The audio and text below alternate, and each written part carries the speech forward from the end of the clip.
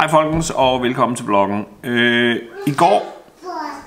ja, jeg kan øh, I går sagde jeg, at øh, vi... vi Kalle, far vlogger.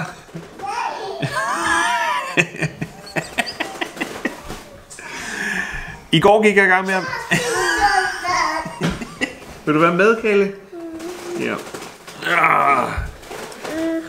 Nå, hej og velkommen til vloggen. Ja, i går sagde jeg, at... Øh, ja, i går gik jeg... ja, i går gik jeg i gang med at male mine figurer til mit øh, Tainted Grail... Ja, øh, til mit Tainted Grail-spil, men det tog, lang, det tog lang tid at redigere videoen, og det tog faktisk også lang tid at filme den. Det tog mig faktisk to dage. Og øh, det kan jeg ikke nå i dag. Jeg er simpelthen for træt. Ja, det, tog mig, det tog mig så lang tid at redigere videoen i går. Jeg kom alt for sent i seng. Og så den maler vi færdig i morgen, så anden del af Speed Paint uh, Tainted Grail kommer i morgen. Jeg har øh, øh, fundet alle mine fire washes frem. Jeg ved ikke, om vi skal bruge alle fire. Vi har en mid brown, strong tone og en flesh wash. Du skal ikke åbne den. Åh oh, nej. Og en blue tone. Jeg tror ikke, vi skal bruge dem alle sammen, men vi har dem. Vi har nogle pensler, så vi er klar til alt det der, men øh, det bliver først i morgen, jeg maler det færdigt. Men for I ikke skal sidde derude og ikke få noget som helst underholdning, så har jeg fået en pakke i dag. Så vi skal åbne en pakke. Lad os, øh, hvor er pakken, Kalle? Og ved du hvad, Kalle? Man kan ikke have en sut i munden, når man laver videoer. Så skal man have sutten ud. Nå.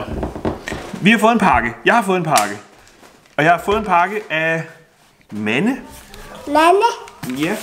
Og øh, det er en flad pakke, og eftersom han spurgte mig, inden han sendte pakken, om jeg har en pladespiller, så har jeg måske en idé om, hvad det kan være. Og der er et lille sjovt klistermærke på pakken, hvor der står Skovsvin. Skovsvin. Ja, skal vi åbne den og se, hvad der er i, Kalle? Det er meget spændende, det her. Ups. Nå ja, måske skal jeg lige være en lille smule forsigtig.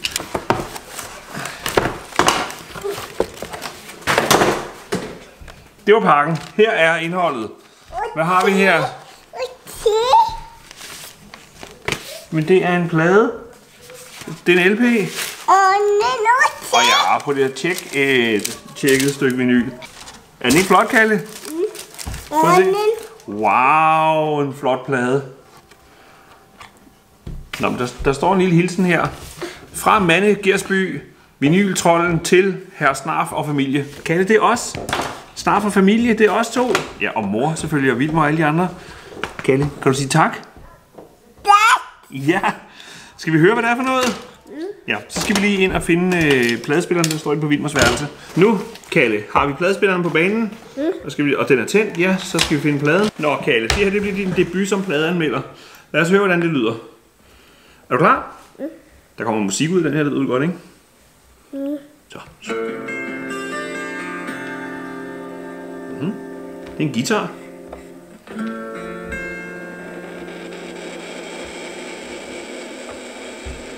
Jeg vil nu fortælle dig om vinyltrollen.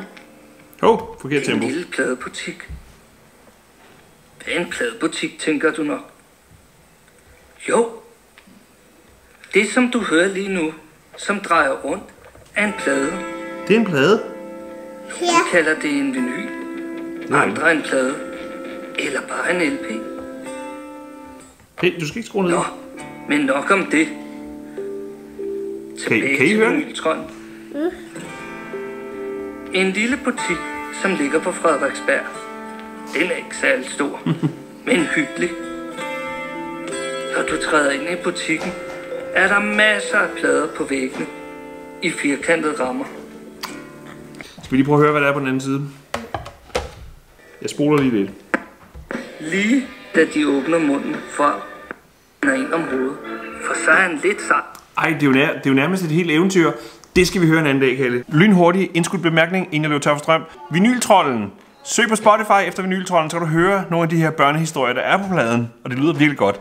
Vinyltrollen. Hør det med dine børn eller bare selv, fordi det lyder skæppe hyggeligt. Tilbage til videoen. Øh, lige nu er jeg alt for træt til at høre øh, den her plade færdig, men vi vender tilbage til den, det lover jeg. En til lynhurtig indskudt bemærkning. Der er links til Vinyltrollen og Spotify og alt det der jazz nede i under videoen. Ja, vi skal, vi skal nok høre mere af den, men lige nu, prøv at se, Kalle, øh, øh, kameraet er ved at løbe tør for batteri. Kan du se, den blinker rødt? Vi bliver nødt til at sige, at vi ses i morgen. Vi ses i morgen. Ses i morgen. Hej hej. Hej.